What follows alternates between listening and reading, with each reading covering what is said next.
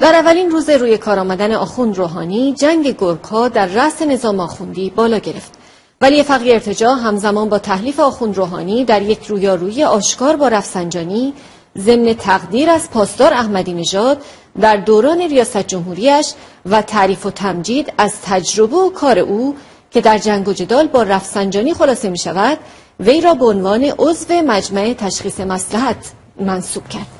در بیانیه که خامنه ای روی سایت خود در تاریخ 13 مرداد منتشر کرد خطاب به احمدی نژاد آمده است با توجه به تلاش با ارزش هشت ساله جنابالی در مسئولیت خطیر ریاست جمهوری اسلامی ایران و تجارب فراوانی که در این مورد اندوخته اید شما را به عضویت مجمع تشخیص مسلحت نظام منصوب می نمایم. در همین حال پاسدار شریعت مداری نماینده خامنه ای در کیهان در سرمقاله دوشنبه 14 مرداد این روزنامه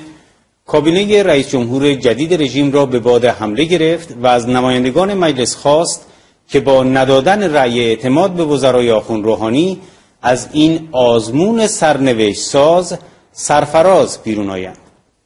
ارگان ولی فقیه ارتجا نوشت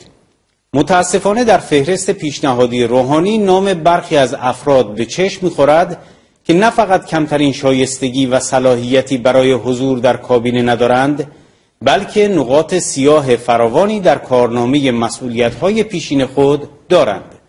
و به یقین نمی‌توان گفت که رئیس جمهور محترم از هویت افراد مورد اشاره بیخبر بودند.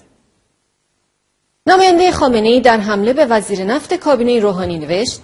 آیا کسی که در دوران تصدی چندین و چند ساله وزارت نفت پرونده های مفتوح و پاسخ نداده ای از انعقاد قراردادهای خسارت آفرین و بعضا شبیه ترکمانچای داشته می تواند امین در وزارت حساس و سرنوشت نفت باشد؟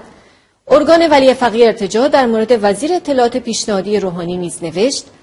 درباره وزیر پیشنهادی دیگر باید گفت که صلاحیت ایشان برای نمایندگی مجلس نهم احراز نشده بود.